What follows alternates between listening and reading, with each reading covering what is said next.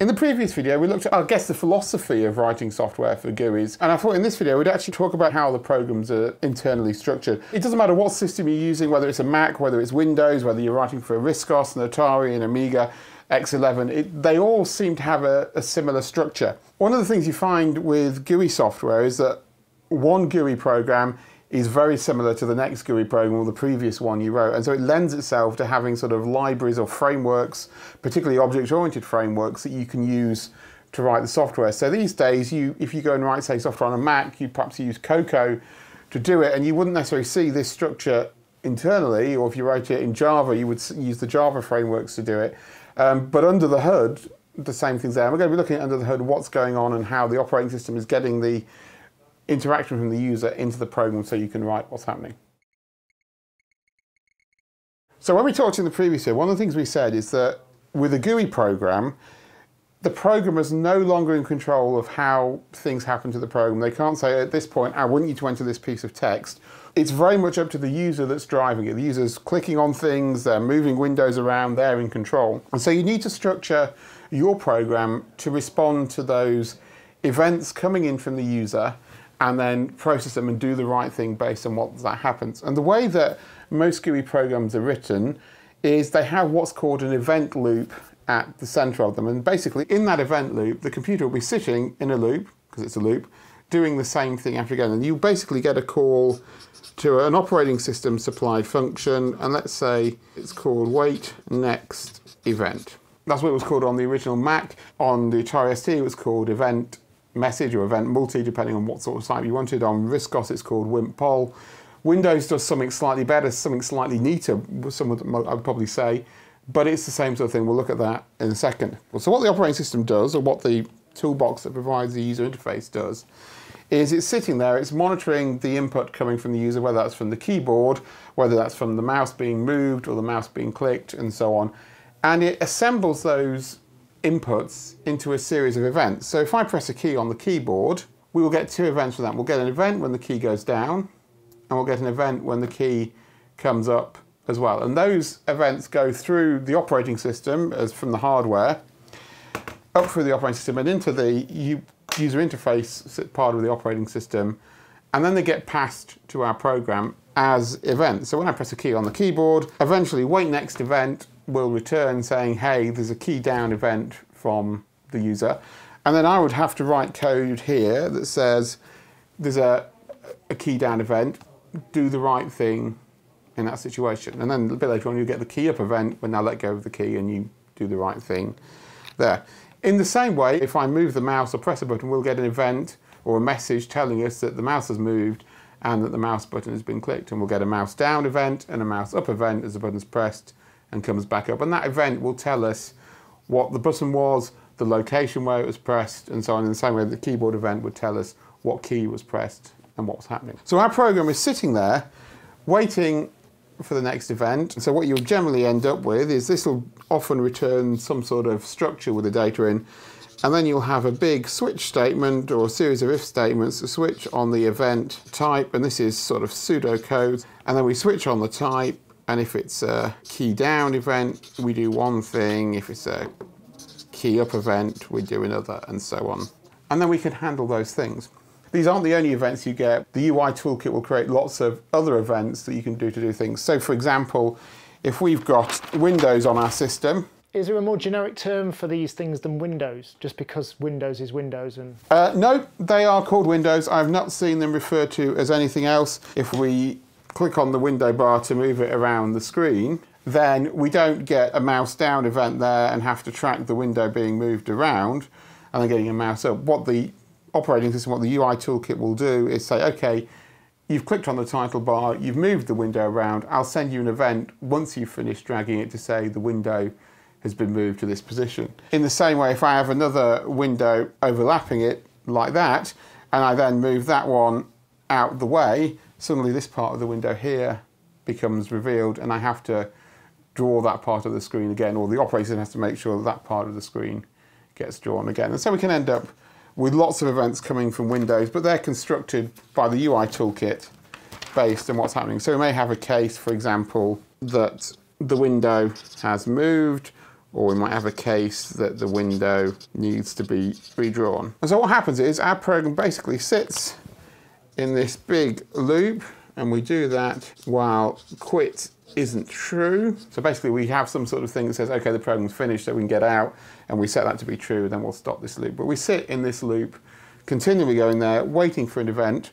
If there's not an event, then this will just block, the system won't let us continue until there is an event there. On the other hand, if there's lots of events, we'll get them through one by one and we'll process them to update things based on what the user's done, based on what's happening. We've talked about the key down event, the key up. Mouse click events, we probably wouldn't get one when the mouse is moved. If you think about it as the mouse is being moved, you'll get lots and lots of events, most of which you're not interested in. You're probably only interested when a button's pressed or so on. The only times perhaps that's different is if perhaps if you're dragging something around the screen. And in that case, you will often say to the operating system, well, I'm dragging something here, tell me about those events. The rest of the time, you're not interested in what's happening at those points. So you probably don't get mouse move events, but you can register them. And you can also do clever things like say, actually tell me when it moves into this area or moves out of this area so that you don't get multiple ones, but you can sort of track what's going through at that time. So our program is based around a series of events coming in that represent the input coming from the user. But we still have a problem. We still have to sort of direct these things to the right place. I mean, it's obvious if we've got sort of a window moved event, we know that we're coming from that window and we know it's moved, so we know what it's being dealing with. Likewise, if we get a mouse click event, it's pretty obvious where it's going. We can find out exactly what window's underneath there. But for something like a key down event, it's a bit, bit more nebulous. Um, we have to have some sort of idea of there being a current window, um, which would then deal with it. But that may not be the right place for it to go. So for example, you may have a text box, but then someone presses control Q, which means quit the program. And so actually, if the text box dealt with that, then, well, you wouldn't want the text box quitting. Um, so it probably wouldn't do it. You wouldn't want to enter control Q into the text box as data. So you need to have it pass back up to the rest of the program. You need to sort of work out where you want this event to be dealt with. And in some systems, you have to program that into the logic of your code. In others, you can sort of direct where you want things to go. So Windows actually made a nice optimization. They instead of having the sort of wait next event loop and then you did a test based on what was returned, you have a similar structure. So you still say while quit equals false. And then inside that you have your loop which says peek message. So you have a look to see if there's something in there and that returns the event. Windows calls it messages rather than events because you get a message from the operating system when the event happens. It, it makes sense as things. And then you run another function on it which translates it slightly. So you run the translate message function and then you run another function called dispatch message and that becomes your main loop of a Windows program. If you look in most Windows programs, they will have something like that there. It may be hidden inside the .NET frameworks, it may be hidden inside MFC, whatever you're using to write your program, but somewhere inside there you're going to get something like that.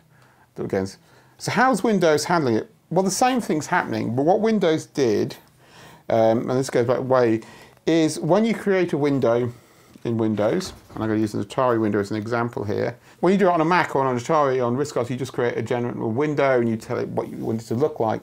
With Windows, you actually associate a function with it. You associate a class with it, and that has a function that handles messages with it. And so what Windows can do is when a message comes in, it can direct it to the specific window because it knows what function to call. So your program actually doesn't have a big switch statement, it has lots of functions which are then bound to the windows that you want them to handle. So that's basically how you write a GUI program. You have your event loop, your message handling loop at the center of things, and then as the user interacts with it, you have to handle the messages, the events that come in, and update your program state. Now there's two things that immediately jump to be obvious here. You want this code that handles this thing to be quick, because if it takes a long time to process that message, then it'll be a long time before the next message is processed. So if you press a key and it say takes four, 40 seconds to handle that key being pressed, it'll be 40 seconds before the next key would then appear on the screen. So you, you often found that you had to write your programs in a way that they do some processing and then go back into the event loop and then carry on and do a bit more processing and do a bit more of the event loop. So they still appeared to function. Otherwise, you'd often get that effect where the GUI froze while it did some processing and then came back to life, which was not fun to use as a program. So you had to basically have this happening all the time. The other thing you can do is push things off into another thread and have them running at the same time. But again, that creates its own interesting issues for writing software. But because we're dealing with windows on the screen, we get some interesting things that we have to deal with. So let's create some windows. In fact, let's just clear the desktop and go to a clean one. So let's say we're doing a bit of programming and we've got our text editor open there with some text and we decide we want to check mail so we run our FidoNet client to go and get the mail. Uh, we need to open some files and then we decide we want to watch a video on YouTube. And so we've got lots of windows open and as we've seen each of these are separate programs. So there's an event loop for this program which is handling the events coming from there. There's an event loop for this one, there's an event loop for this one, there's an event loop for our browser handling the events or the messages that are coming for that.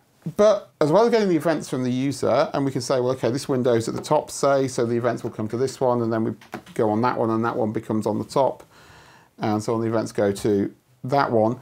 As well as handling the events from the user, as these windows are updated, they can create events that mean that the other programs have to do things.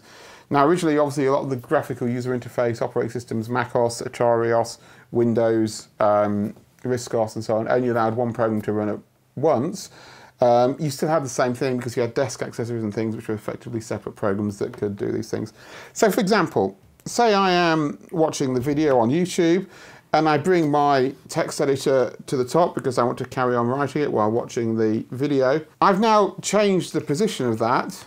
It's now the current window, so I need to be told that this is now the current window so that I know where things are going because I may have more than one text editing window open. But also, as I brought it to the front, I've revealed parts of the window that were previously covered up by the other windows.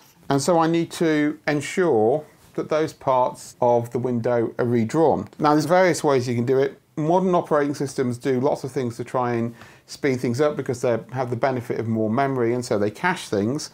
Um, and they'll often have off-screen areas where they can each draw the contents of the window and it's stored so the operating system can redraw it automatically. But originally when you did this, you would get a message from your operating system saying you need to redraw this window. And so it'd tell you that you need to redraw the area here, or to speed things up, it would tell you you need to redraw that bit, you need to redraw this bit, and you need to redraw this bit down here. So when you got a message saying redraw the window, you wouldn't just get a rectangular area to draw. You may get several separate rectangular areas that you need to work out, okay, I need to redraw what's in that bit, and that bit, and that bit. Now, you could, if you were a lazy programmer, redraw everything every time you got that message and just clip to the areas. But the problem with that is that the computer would take a while to draw that. Even today, drawing lots of things, if it's a complicated thing, can still take some time to do. So what you actually try, ended up having to do is work out, well, what bits are being revealed here and redraw that and so on. But you could sometimes get those things even if you weren't on top. So for example, if I'm like that and I move this window in the right way, I can end up revealing a section here and another section down here that I have to redraw. So the events come not just from the user interaction, but also from the interactions of the program with itself or with the other things. Every time you move a window, the operating system has to deal with that and tell you that you need to redraw parts of it and so on, and tell you that the window's moved. So on Windows Aero, it's got see-through bits. Yeah. So whose whose fault's that? well, this is the thing, and this is other things. Mac OS X um, introduced this, Windows Aero and Windows Vista and so on, and uh, I think Wayland probably does something similar as well. I'm not so sure. Um, what they do is they say, okay, you've got lots of windows on screen, um, and they're overlapping. But what we'll actually do is we'll draw all of them off screen so that they don't overlap and you might need to zoom out the other camera. And so we've got them off screen like that. And what we actually do is we say, okay, we'll draw them all so they're completely uncovered as separate blocks of memory. And then we'll make a copy of that and copy it there. And there's some nice visual effects going to see that copy happening. And then we'll make a copy of this and put it on the screen here. And we'll make a copy of this and put it on the screen here and a copy of that. And because we're copying pre-existing things, we can do alpha channels, we can do transparency, and we can make it all look pretty and you can have wobbly windows if you've got a weird GNOME desktop. It's interesting, depending on the operating system you're using, Windows can be more or less intelligent. Uh, generic Windows, not the operating system. Um, so, for example, on the Atari system, and I think on RISC-OS, if I remember rightly, and it's been a while since I programmed RISC-OS, um, the window basically was a container. Uh, and uh, that was it. You had a container and then you drew in it. Um, on a Mac, on Windows, Windows can actually contain other windows and they can contain other windows so you can sort of build things up. And so actually all the controls you get, buttons, text boxes, are actually specialized windows that you can then join together to form a whole that is a window and so on. And you can specify whether they have title bars or not, whether they have scroll bars and things. Of course, the interesting thing about redrawing things is it's simple if you have to redraw an area here because that's windows come on top of that window like that. But things get interesting if you scroll around the window. Um, you perhaps don't want to redraw everything because that will take time. I mean, when, uh, GUIs were first being invented, we had computers that probably had a, an 8 megahertz CPU that were doing these things, if that, uh, something like the Atari ST or the original Mac.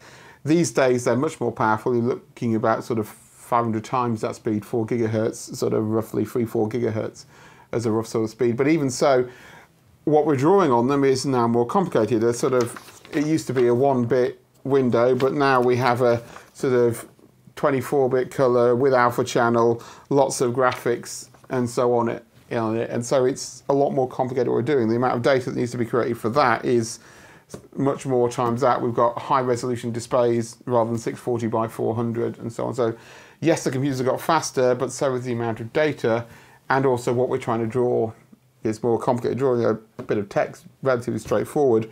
Drawing um, a nice web page and so on becomes more complicated. And so you still have the same problems is how do we redraw that screen quickly when we scroll through what's on there? And so you have to sort of work out what you want to do and sort of do things. We'll have a look at that in a later one. Now I've got the token so I can load a value in, add the value from my register into it, and store it back and hand the token. And now I've got the token again, I can load something into, into my register, add something onto it, throw it back, and pass the token on. And I've got it, so I can load the value in, add the value from my register, store it back.